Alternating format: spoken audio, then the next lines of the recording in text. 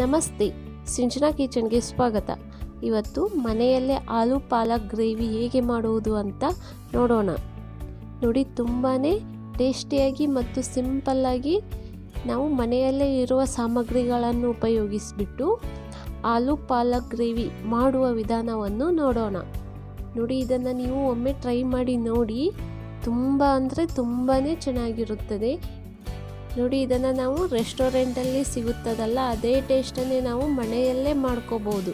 ಇದನ್ನು ಮಾಡುವುದಕ್ಕೆ ಬೇಕಾಗಿರುವ ಸಾಮಗ್ರಿ ನಾನಿಲ್ಲಿ ಒಂದು ಪಾಲಕನ್ನು ಸಣ್ಣಗೆ ಕಟ್ ಮಾಡಿ ತೊಳೆದು ಇಟ್ಟಿದ್ದೇನೆ.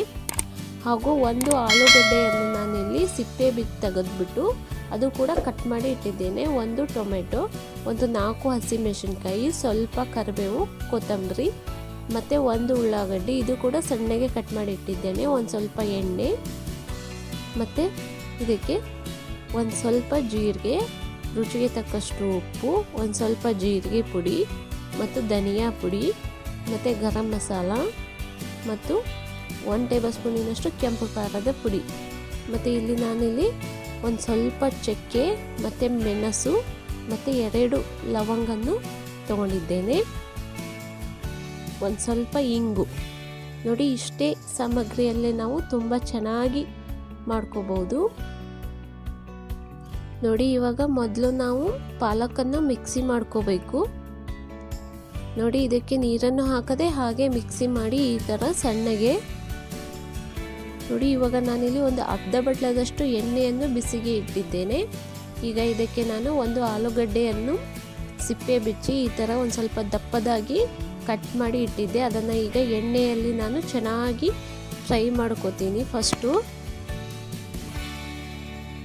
ನೋಡಿ, ನಾವು ಎಣ್ಣೆಯಲ್ಲಿ ಇದೇ ಈ ಥರ ಕೆಂಪಗೆ ಆಗೋವರೆಗೂ ಇದನ್ನು ಫ್ರೈ ಮಾಡ್ಕೋದರಿಂದ ತುಂಬಾ ಟೇಸ್ಟಿಯಾಗಿ ಚೆನ್ನಾಗಿ ಬರುತ್ತದೆ. ಆಲೂಗಡ್ಡೆ ಒಂದು ಸ್ವಲ್ಪ ಚೆನ್ನಾಗಿ ಕ್ರಿಸ್ಪಿಯಾಗಿ ಚೆನ್ನಾಗಿ ಬರುತ್ತದೆ. ನೋಡಿ, ಈಗ ಇಷ್ಟು ಕೆಂಪಗಾಗಿದೆ ಇದು ಚೆನ್ನಾಗಿ ಬೆಂದಿದೆ ಎಣ್ಣೆಯಲ್ಲಿ. ಈಗ ಇದನ್ನು ನಾನು ತೆಗೆದುಬಿಡ್ತಾ ಇದ್ದೇನೆ. ನೋಡಿ, ಈಗ ಎಣ್ಣೆ, ನಾನು ಒಂದು ಸ್ವಲ್ಪ ಎಣ್ಣೆ ತೆಗೆದ್ಬಿಟ್ಟು ಇದನ್ನು ಬಿಸಿಗೆ ಇಟ್ಟಿದ್ದೆ. ಈಗ ಎಣ್ಣೆ ಬಿಸಿ ಆದ ನಂತರ ನಾನು ಇದಕ್ಕೆ ಒಂದು ಸ್ವಲ್ಪ ಜೀರಿಗೆಯನ್ನು ಹಾಕ್ತಾ ಇರೋದು.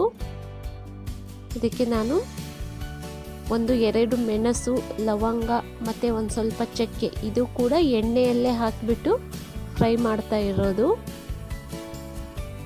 ಇದಕ್ಕೆ ನಾನಿಲ್ಲಿ ಒಂದು ನಾಲ್ಕು ಬೆಳ್ಳುಳ್ಳಿಯನ್ನು ಕೂಡ ಸಣ್ಣಗೆ ಕಟ್ ಮಾಡಿ ಇಟ್ಟಿದ್ದೆ. ಅದು ಕೂಡ ಹಾಕ್ತಾ ಇರೋದು.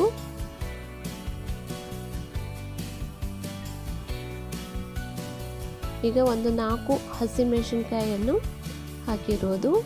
ಒಂದು ಸ್ವಲ್ಪ ಇಂಗು. ನೋಡಿ, ಇವಾಗ ನಾನಿಲ್ಲಿ ಒಂದು ಉಳ್ಳಾಗಡ್ಡಿಯನ್ನು ಕೂಡ ಸಣ್ಣಗೆ ಕಟ್ ಮಾಡಿ ಹಾಕ್ತಾ ಇದ್ದೇನೆ.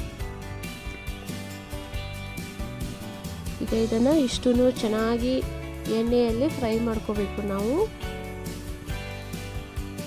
ಒಂದು ಸ್ವಲ್ಪ ಕರಿಬೇವು. ಒಂದು ಟೊಮೆಟೊ. ಈಗ ಇದು ಇಷ್ಟೂ ಚೆನ್ನಾಗಿ ನಾವು ಒಂದು ಸ್ವಲ್ಪ ಮೆತ್ತಗೆ ಆಗೋವರೆಗೂ ನಾವು ಇದನ್ನು ಬಯಸ್ಕೋಬೇಕಾಗತ್ತೆ ಇಲ್ಲಿ. ಒಂದು ಸ್ವಲ್ಪನೇ ನೀರನ್ನು ಹಾಕಿ ಇದನ್ನು ನಾವು ಈಗ ಚೆನ್ನಾಗಿ ಬೈಸ್ಕೋಬೇಕು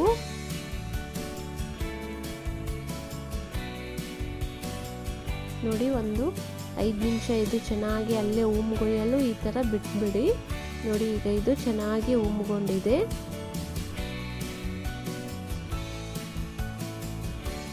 ಈಗ ಇದಕ್ಕೆ ನಾನಿಲ್ಲಿ ಒಂದು ಸ್ವಲ್ಪ ಧನಿಯಾ ಪುಡಿ, ಒಂದು ಸ್ವಲ್ಪ ಜೀರಿಗೆ ಪುಡಿ, ಒಂದು ಸ್ವಲ್ಪ ಗರಂ ಮಸಾಲ, ಎಲ್ಲವೂ ಒಂದು ಟೇಬಲ್ ಸ್ಪೂನಿನಷ್ಟು ತೊಗೊಂಡಿರೋದು. ಅಚ್ಚಕಾರದ ಪುಡಿ ಇದು ಎರಡು ಟೇಬಲ್ ಸ್ಪೂನಿನಷ್ಟು ತೊಗೊಂಡಿರೋದು.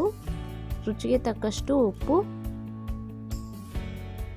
ಈಗ ಇಷ್ಟೂ ನಾವು ಚೆನ್ನಾಗಿ ಮಿಕ್ಸ್ ಮಾಡ್ಕೋಬೇಕು. ಒಂದು ಸ್ವಲ್ಪ ಎಣ್ಣೆಯಲ್ಲಿ ಚೆನ್ನಾಗಿ ಫ್ರೈ ಮಾಡ್ಕೋಬೇಕು ಎಲ್ಲ ಮಸಾಲವನ್ನು.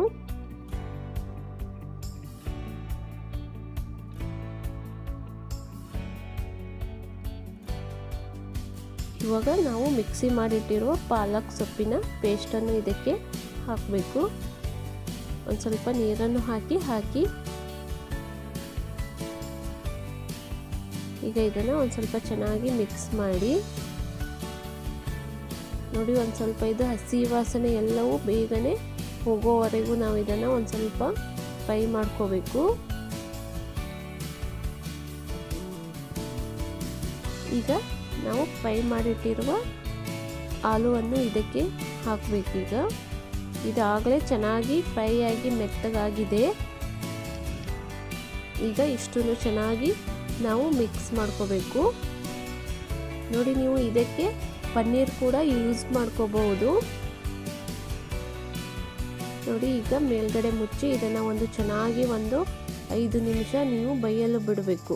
ನೋಡಿ, ಈ ಥರ ಮೇಲ್ಗಡೆ ಎಲ್ಲ ಎಣ್ಣೆ ಎಣ್ಣೆ ಬರಬೇಕು. ಆಗ ಪಲ್ಯ ರೆಡಿಯಾಗಿದೆ ಅಂತ. ನೋಡಿ, ತುಂಬ ಅಂದರೆ ತುಂಬಾ ಚೆನ್ನಾಗಿ ಬಂದಿದೆ ಇದು. ನೋಡಿ, ಇದು ಒಂದು ಸ್ವಲ್ಪ ನಿಮಗೆ ಗಟ್ಟಿ ಅನಿಸಿದ್ರು ಕೂಡ ನಾವು ನೀರನ್ನು ಹಾಕಿ ಇದನ್ನು ಚೆನ್ನಾಗಿ ಕುದಿಸ್ಕೋಬಹುದು. ನನಗೆ ಇಲ್ಲಿ ಒಂದು ಸ್ವಲ್ಪ ನೀರು ಬೇಕು. ಅದಕ್ಕೆ ಒಂದು ಸ್ವಲ್ಪ ನೀರನ್ನು ಹಾಕಿ ಮೇಲ್ಗಡೆ ಕೊತ್ತಂಬರಿ ಸೊಪ್ಪನ್ನು ಹಾಕಿ ಈಗ ನಾನು ಇದನ್ನು ಚೆನ್ನಾಗಿ ಕುದಿಸ್ಕೋತೀನಿ. ನೋಡಿ, ಇದು ಚೆನ್ನಾಗಿ ಕುದ ನಂತರ ನಮಗೆ ಬಿಸಿ ಬಿಸಿಯಾದ ಆಲೂ ಪಾಲಕ್ ಗ್ರೇವಿ ರೆಡಿ ಆಗಿಬಿಡುತ್ತೆ ನೀವು ಇದನ್ನು ಒಮ್ಮೆ ಮಾಡಿ ನೋಡಿ ಟೇಸ್ಟ್ ಹೇಗಿದೆ ಅಂತ ನಮಗೆ ತಿಳಿಸಿ. ಈ ವಿಡಿಯೋ ನಿಮಗೆ ಇಷ್ಟವಾದರೆ ನಮ್ಮ ಚಾನಲನ್ನು ಸಬ್ಸ್ಕ್ರೈಬ್ ಮಾಡಿ ಲೈಕ್ ಮಾಡಿ ಕಮೆಂಟ್ಸ್ ಕೊಡಿ ಶೇರ್ ಮಾಡಿ. Thank you